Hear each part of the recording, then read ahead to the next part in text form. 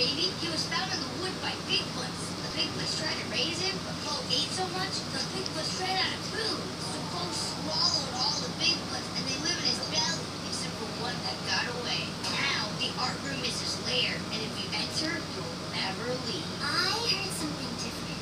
Eons ago, our second moon split asunder, unleashing behemoth upon the cosmos. He rode a chariot of rainbow fire